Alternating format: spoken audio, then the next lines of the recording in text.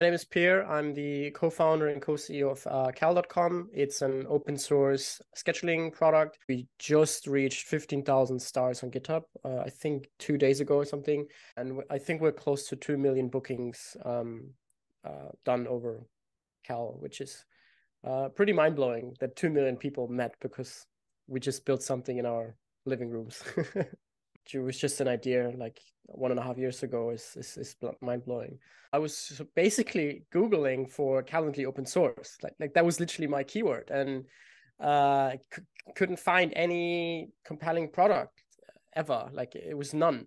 There was a few uh, Reddit posts and um, and I think um, on on Hacker News, people asking for like, hey, does anyone know like an open source Calendly? I need this for X Y Z.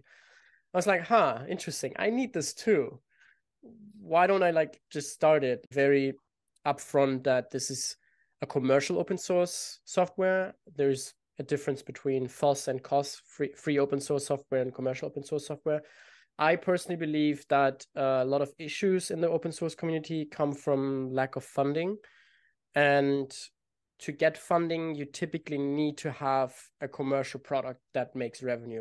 That's where we yeah, we we built like an enterprise license where you need to pay us for for for the usage. Hmm. So we did raise a Series A, I think in December or maybe January. Um, so like within the same year, um, which was 25 million uh, Series A. So like total funding is now 32.4. I think it's all public on cal.com slash open, which is kind of like our open open startup page you need to be realistic with your burn rate. Like our burn rate is crazy cheap.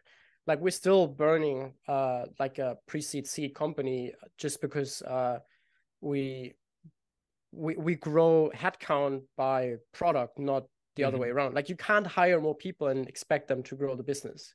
It, it, in fact I, i'd even say the business moves slower the more people you hire. I don't recommend having a, a burn plan. Like i know some people be like oh, we have a budget of two million, but we only spent one, so let's hire two more people, three more people. It's like you should hire people because your business needs it, not because you have the budget or the funding. We still do contract to hire, so that hasn't changed.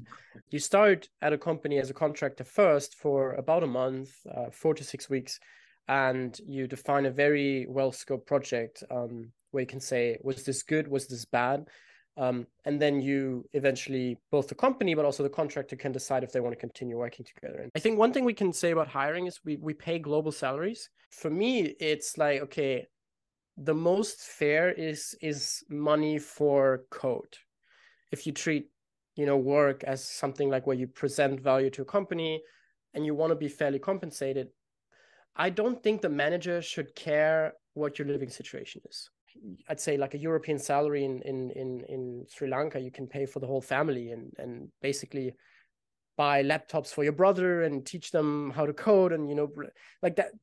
That's just awesome in my opinion. And and these engineers are literally the same quality and output. Like it's not like there's any difference. Like you, if you wouldn't know, you wouldn't know. And and so that's just yeah, that's something I'm I'm, I'm still very proud of having uh, global salaries. Also, what we've seen is we've seen people literally in our team move to live in Switzerland from India for a couple of weeks or months.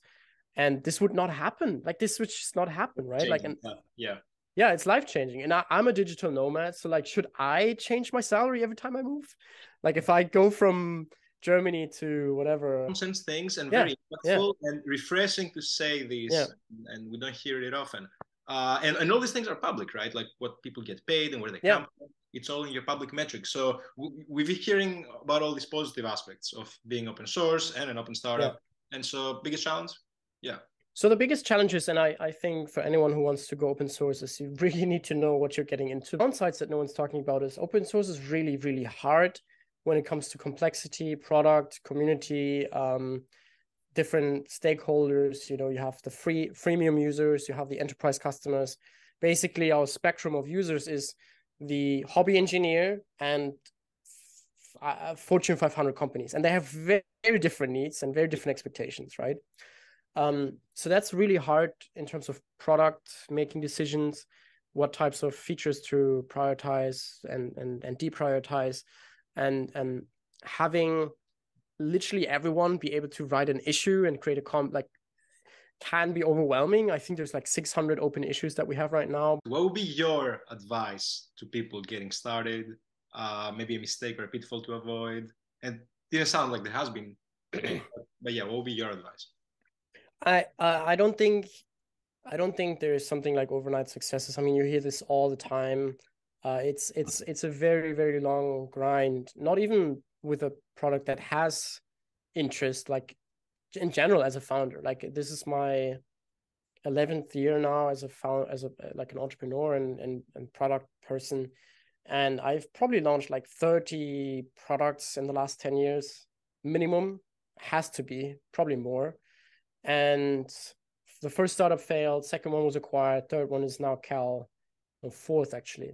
I think to increase your chances, you know, to be lucky, you need to just keep on doing doing things. Like I think a lot of people underestimate the power of pivots. Like I've seen companies, I've actually invested in a couple companies that did like a hard pivot.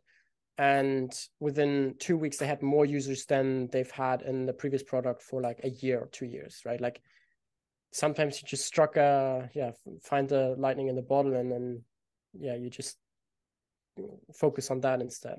Uh, well, any any any last thoughts that you would like to uh, leave people? Um, my DMs are open if you have any questions uh, on Twitter. Uh, it's peer underscore uh, rich, R I C H. I'm happy to also reply to emails, peer at cal.com or, or book me if you have something more serious. Um, but yeah, no, I'm. Uh, it's it's always a pleasure to to jump on these calls and um, see see how open source continues to grow.